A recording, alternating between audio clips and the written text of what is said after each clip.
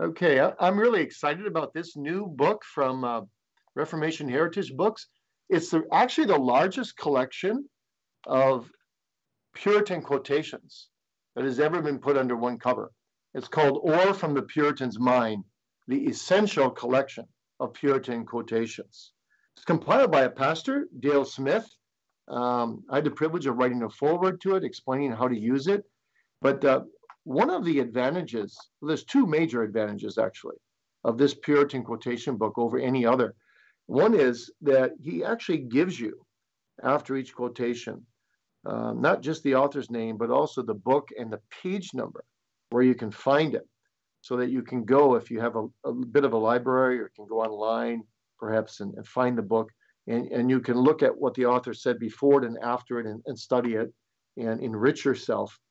And the second thing that, you know, a lot of quotation books just have very, very short quotations only.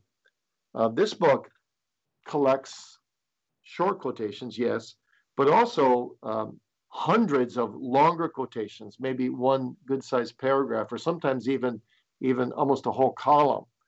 And um, that is very helpful for study, for individual readers. Um, you know how I'm doing right now. I, I, mean, I read through it before when, when I edited it, but um, I, am just I just take a subject a day. I use it as my daily devotional book, and just read three, four, five quotations a day, and they're just so quotable, so rich I find it to be quite a bit richer than almost any daily devotional book on the market. But it's also a great study book. So let's say I'm I want to preach. If you're a pastor, you want to preach on good works. Well, here's um, three pages of quotations on good works from Manton and Trapp and, and, and Collings and Brooks and Bunyan and Adams. And sometimes, you know, just a little quote can be like it can be like fizzing the coke in your sermon. Uh, here's one by Thomas Adams Naked faith is no faith. Good deeds are such things that no man is saved from for them, nor can he be saved without them. Oh, wow. I mean, it would take me three minutes to say that. And he says it in, in two sentences.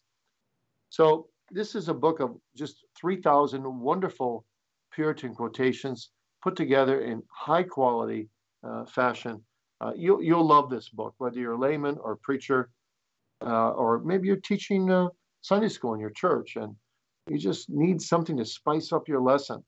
This book will do it for you. Ore From the Puritans' Mine by uh, compiled by Dale Smith.